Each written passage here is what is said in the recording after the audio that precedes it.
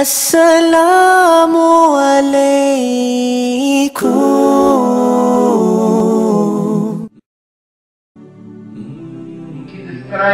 the life of Rasulullah sallallahu alaihi wasallam, his nubuwwat, his qurbani, his sacrifice for his ummah. First expression, she said, Lam yamtalik jawfun nabiyyin sallallahu alaihi wasallam shib'an qat. Walam yabutta, she إلى أحد وكانت الفاقة أحب إليه من الغنى ولو شاء سأل ربه جميع كنوز الأرض وثمارها ورغد عيشها 23 years of nubuwwat. She says there wasn't one occasion that my beloved sallallahu alayhi wa sallam had stomach full to eat.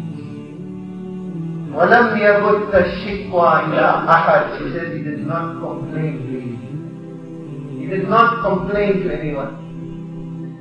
Not complain to anyone. وَكَانَتِ الْفَاقَةُ أَحَبَّ إِلَيْهِ مِنَ الْغِنَى He preferred hardship. He preferred hunger. He preferred difficulty over ease and adversity. Over ease and comfort. وَلَوْ شَاءَ سَأَلَ رَبَّهُ If he wanted, if he wanted, Allah had already offered. We will turn the mountain ranges into gold for you. he stands on Mount Safa, Jibreel, in the home of Muhammad sallallahu alaihi wasallam, there isn't one grain of wheat or one strand of barley. If sami'a, fi samai wajba, a thunderous explosion is heard.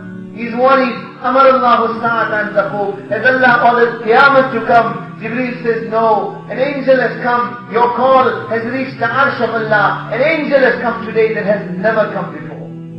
Israfil alayhi salam presents himself in front of Rasulullah sallallahu alayhi wasallam. Inna Allah ta'ala arsalani ilayk bimafatihi khazain al-ard and أعرض عليك أن أسير معك جبال تهامة ذهب وفضة وزمرد وياقوت Allah has sent me بمفاتيح خزائن الأرض with the keys to the treasures of the entire earth. To present to you that if you want, this entire Tihama range of mountains will be turned into gold, silver, rubies and emeralds and it will follow you wherever you go. عبدا نبيا أو ملكا نبيا عبدا نبيا أو ملكا نبيا Do you want to be a Nabi of Allah who is the king or do you want to be a Nabi of Allah who is the slave? Wallah, Allah's qasam, whatever he chose there would be no difference in his martaba and status. No difference! He looks to Jibreel for mashara. Jibreel points downwards. Jibreel fatawada. Jibreel points downwards without hesitation. Well, abadan nabiya, I choose to be a nabi of Allah who is a slave. Why? Because he knew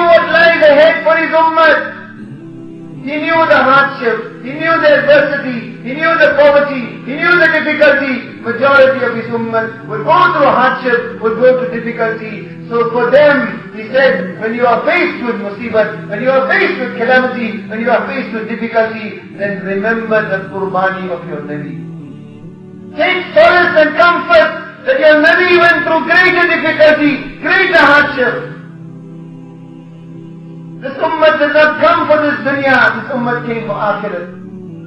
تلك الدار الآخرة نجعلها للذين لا يريدون علوا في الأرض ولا فسادا Allah says آخرة جنة we have made it for those who do not want the positions of this world we have made it for them Sahaba were not motivated by the desire to conquer lands and conquer kingdoms they were motivated by the concern and compassion of humanity Akhirat was in front of them Jannat was in front of them Aisha radiallahu anha says, many, many times I observe, I observe Rasulullah sallallahu alayhi wasallam twisting from side to side. Twisting from side to side for an entire night because of the pangs of hunger. But she says a night like that did not stop him from fasting the next day. One occasion he comes to the home of Aisha. Aisha is there any food? She responds to the Nabi of Allah, there is no food. Normally, when this response was received, he would fast. Today the hunger is too great. He says, Aisha, I am going to the masjid. He goes to the masjid. Behind one pillar, two rakats of salah. Next pillar, two rakats of salah. Next pillar, two rakats of salah. In the interim, Osman comes looking for him. Umm al-Mumineen, where is Rasulullah? She said there was no food. He went to the masjid to talk to Allah. Osman burst into tears. Why didn't he tell me? Why didn't he tell Abdul Rahman bin Auf? Why didn't he tell Thabit bin Qais bin Shammas? Osman rushes home loads two camels, then thinks to himself, this food will take time to prepare. With that, he takes some ready-made food, leaves it at the house of Rasulullah sallallahu goes away. When Nabi sallallahu returns, Aisha, did anything happen? She says, you went to talk to Allah. How is it possible that nothing would have happened? Allah has made intizam. Aisha, what happened? She says, Osman brought this. He looks to the heavens. Oh Allah, I am happy with Osman. You also become happy with him. Oh Allah, I am happy with Osman. You also become happy with him. Oh Allah, I am happy with Osman. You also become happy with him. This was a daily occurrence in the home of Nabuwwat. One night, she says, I woke up, I found Rasulullah sallallahu alayhi wa sallam bent over. He was pressing his stomach to the plank of the bed. I said, Ya Rasulullah, what has happened? What has happened? He said, Aisha, the pangs of hunger have become too difficult for me. She says, Ya Rasulullah, she says, I began passing my hand over his Mubarak stomach, sobbing, and I said to him, why don't you make dua for dunya? Why don't you ask Allah to open the door of dunya upon you? He looked at me and he said, Aisha, I will not make that dua. Mali walid dunya, Mali walid dunya. What is there for me? Ramadan Sharif, sometimes, sometimes, although not often, such intizam we make to eat and prepare ourselves for Sehri and Iftar, that the opportunity to experience hunger is not even there. Sometimes, maybe after Asr Salah, little bit of hunger we experience. For few seconds, few seconds, ponder and reflect and identify with the hunger of that most Mubarak personality of Allah, Janabi Rasulullah sallallahu alayhi wa sallam, when he is walking in the garden, what is he doing? He's picking up dates from the ground. Dates that are on the ground will be partially eaten by insects. Those who have restaurants, leftover food, they say we can't serve the customer. Why it is leftover, give it to the animals to eat not worthy for human consumption. Allah's Rasul sallallahu alayhi wasallam, the owner of Maqam Mahmud, the owner of Wasila, the one who is the keeper to Jannat, the one who has the keys to Jannat in his hand. Jannat, no Nabi will enter till he does not enter. No Nabi will drink the waters of the streams of Jannat till Muhammad sallallahu alayhi wasallam does not drink those waters.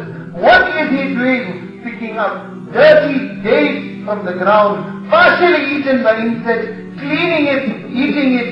Ibn Umar radiallahu ta'ala is with him. He offers it to him. He offers it to him. Ibn Umar says, I could not stand to even look at those dates. I said, I don't desire it. This was not forced upon him. It was ikhtiyari. Allah had offered, if you want, we will send Jannah down to this earth for you. If you want, you will turn the mountains into gold for you. Yet he is cleaning those dates. Ibn Umar says, I couldn't look at it. I said, I don't desire it. He looked at him and he said, بل أنا أشتهيه هذه رابعة ما ذقت شيئا. He said, Ibn Umar, I desire these days. Why? Because four days have passed. Four days have passed and not one morsel of food entered my stomach.